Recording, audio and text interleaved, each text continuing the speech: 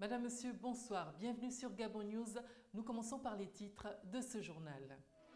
Prime d'incitation à la performance encore sur la sellette. Les agents du milieu hospitalier ne comptent plus administrer les soins aux malades sans cette prime. Prime sans laquelle pourtant ces agents travaillaient il y a encore quelques mois. Nous aurons le point de vue des agents. Nous parlerons également de la croisade d'évangélisation organisée à Libreville par l'Église internationale de Nazareth qui a pour préoccupation la nation. Tout un programme qui voit la participation de plusieurs églises locales.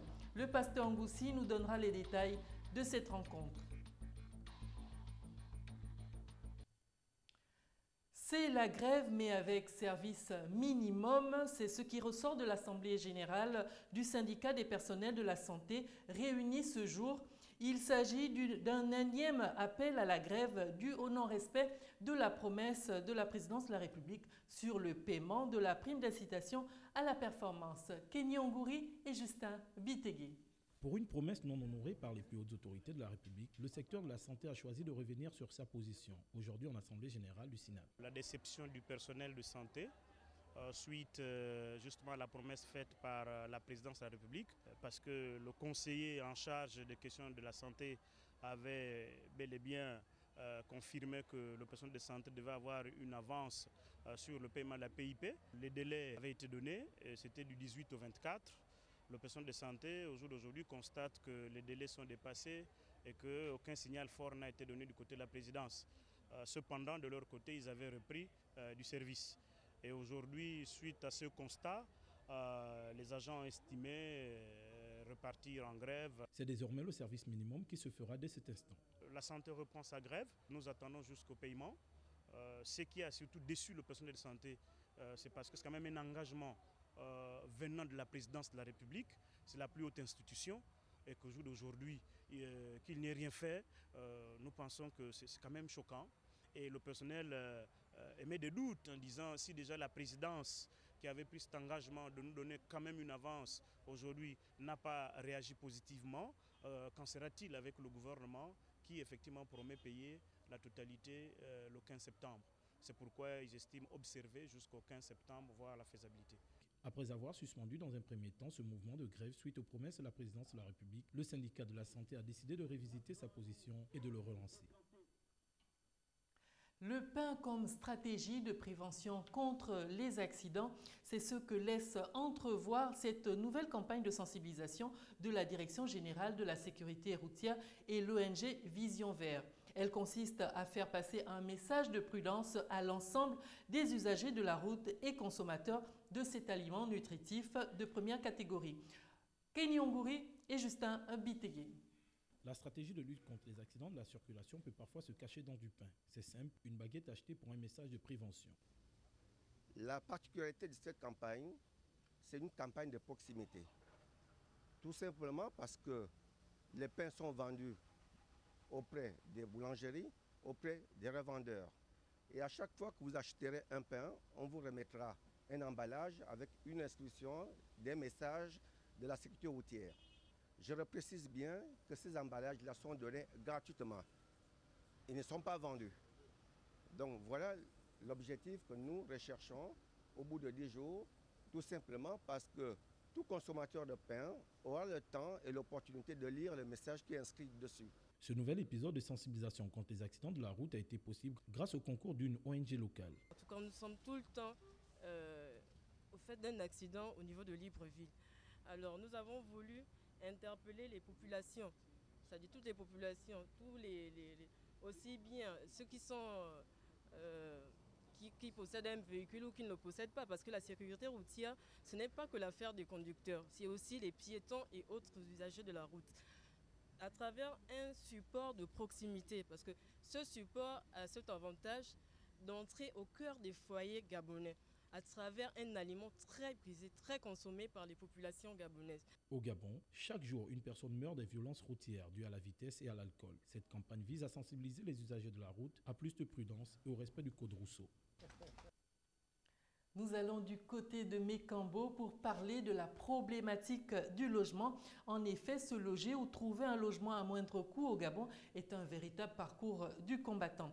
À Mekambo, c'est dans la province de Logoué-Ivindo, les cadres de cette localité semblent avoir trouvé une solution à ce problème. Martial Tsonga et Refuit Tsoga. C'est dans le cadre de la rencontre préparatoire de la journée de concertation économique, sociale et culturelle des filles et fils de Mekambo que la question du logement a été évoquée. Une question qui n'est pas seulement l'apanage de Libreville, la capitale gabonaise. Comme vous pouvez le constater, nous avons des problèmes de logement ici, des problèmes concrets.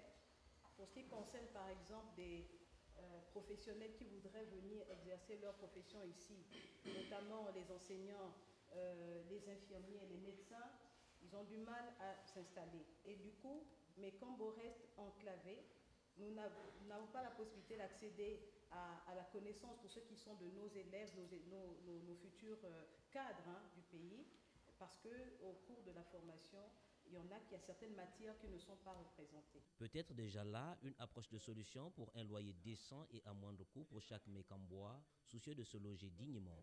Le premier problème que nous avons pensé qu'il fallait résoudre, à l'instar d'autres problèmes qui sont aussi nombreux, c'est la question du logement.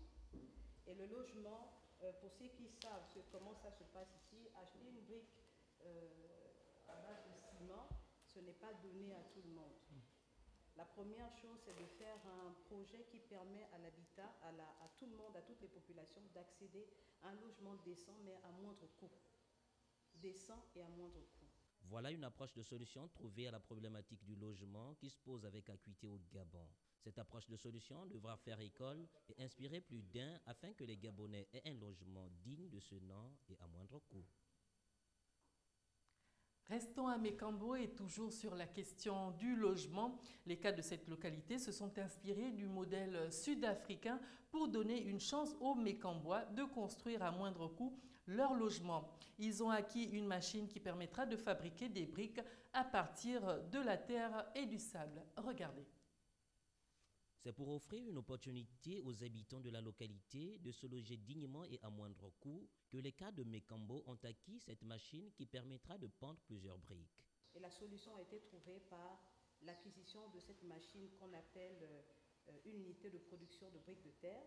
C'est une machine euh, qui vient de l'Afrique du Sud et qui a été euh, vraiment, euh, nous avons eu le soutien d'un bon nombre de partenaires pour permettre à cette machine-là d'arriver jusqu'à Mekong aujourd'hui et qui est disponible. Et cette machine permet de construire des logements à base de la terre et du sable. C'est ce qu'on a, c'est une euh, technique de la société Hydraform qui est de l'Afrique du Sud. S'inspirant du modèle de construction sud-africaine et soucieux du bien-être des populations, ces cadres veulent participer au développement social des Mécambois.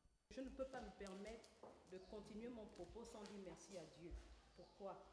Parce que c'est un projet qui date de depuis 2008. Il a mis du temps et il s'est concrétisé aujourd'hui. À ce jour, lorsque nous venions à cette formation, les dix premières briques ont vu le jour. Les cadres de Mekambo ont certainement trouvé ce que les Gabonais cherchaient, sans doute, parce qu'ils se sont inspirés de ce qui marche et bien chez les autres. Tout autre chose à présent, heureuse la nation dont l'Éternel est Dieu, c'est le thème de la croisade d'évangélisation qui va être organisée du 28 au 30 août à Libreville par l'Église internationale de Nazareth en collaboration avec les églises locales. Une croisade qui a été précédée d'un séminaire des ministres de Dieu à la paroisse d'Okala. Les enjeux de cette grande rencontre nous ont été donnés ici par Patrick Charfery et Justin Vitégué. La croisade d'évangélisation dénommée Libreville 2014 se prépare avec faste du côté de l'Église internationale de Nazareth. Le pasteur et les fidèles s'attellent au dernier réglage. Nous voulons que le Gabon revienne à Dieu. vous savez que, comme le déclare ce passage que nous avons euh, choisi, heureuse la nation dont l'Éternel est Dieu, euh, veut tout dire. La nation ne peut être heureuse dans cette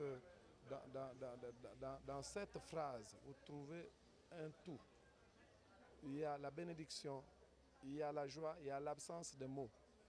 Quand on est heureux, c'est qu'on est exempt de tout mot, de toute euh, malédiction, de toute sécheresse, de tout manquement. Donc tout nous vient de Dieu. C'est Dieu qui a créé le Gabon. Il n'a pas créé le Gabon pour que le Gabon subisse ce qu'il subit aujourd'hui. En prélude à cette grande croisade qui se tiendra demain au stade de Nzayon, un séminaire des ministres de Dieu a eu lieu ici à la paroisse d'Okala et qui a vu la participation du célèbre groupe gospel Gaël Music. Les trois jours que nous venons de passer, qui, qui s'achèvent aujourd'hui, donc ils, sont là, ils ont commencé le lundi, hier c'était formidable, et aujourd'hui c'est la clôture de la convention, autrement dit du séminaire des serviteurs de Dieu. Et demain, nous allons commencer avec la croisade. Les chrétiens et les chrétiennes sont donc invités à prendre une part active à ce rendez-vous de prédication et de miracles. Face à cette atmosphère de grève observée dans plusieurs secteurs de l'administration gabonaise et aussi par les élèves recalés du bac 2014, l'Église semble avoir la solution à tous ces maux. Le révérend pasteur Georges Bruno Ngoussi propose de placer Dieu au centre de la vie de la nation. Regardez. À Sainte-Marie, ce sont les élèves recalés du bac 2014 et les agents de la Caisse nationale qui font le siège et aussi les étudiants des universités du Gabon. Bref, un climat social en ébullition qui ne laisse pas l'Église indifférente. C'est un problème d'état d'esprit par rapport à Dieu. Je ne cesserai jamais de le dire. On peut changer autant de, de, gouvernements, on peut changer autant de ministres, on peut changer autant de directeurs généraux des sociétés. Si Dieu n'est pas à la base de l'action qui est menée, ceux qui l'amènent travaillent en vain. C'est ce que dit la Bible. Donc, Georges Bruno Ngoussi promet qu'après sa croisade, des solutions seront apportées à tous ces problèmes grâce à la main de Dieu. Que ce soit les grévistes, que ce soit les gouvernants qui, sont, qui semblent être, euh, qui semblent avoir une dureté d'oreille. Mais, mais, mais on, on peut jeter les cailloux à qui on veut, mais ça ne changera rien. Ce qui peut changer toutes ces choses, c'est Dieu. Il faudrait que tous nous nous remettons à l'éternel et que l'éternel fasse en sorte que nos caisses ne soient pas ce qu'elles sont aujourd'hui. Vous savez, euh, il y a cela euh, peut-être 20 ans, on ne vivait pas ce que nous vivons aujourd'hui. Mais si nous le vivons aujourd'hui, c'est parce que nous avons orienté notre vie autrement.